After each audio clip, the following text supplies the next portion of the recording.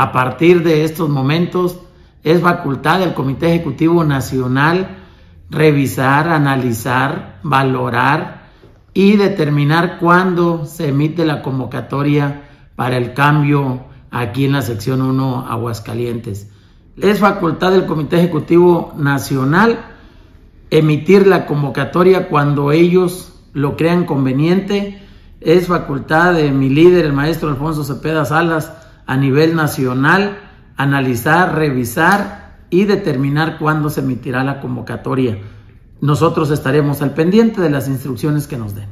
Y mientras no se lleve a cabo la elección de la nueva directiva seccional aquí en el estado, hasta el día que tome protesta el nuevo o nueva secretaria general, nosotros seguiremos trabajando día con día con todo el magisterio aquí en el Estado.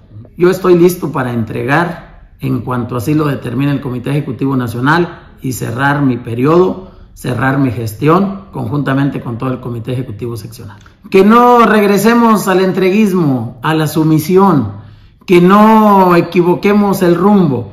Nos ha costado mucho en estos cuatro años recuperar muchas prestaciones, muchos beneficios para todos los trabajadores y la invitación es a que sigamos unidos, sigamos trabajando en equipo, sigamos sumando esfuerzos. Aquí no se aceptan intereses personales, que no nos confundan. Los tiempos llegarán y todo el mundo tendrá la oportunidad de participar.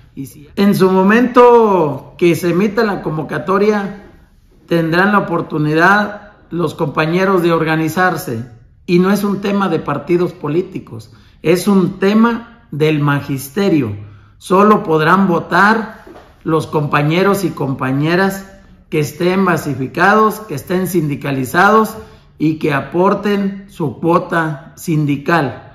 La invitación es para que estén atentos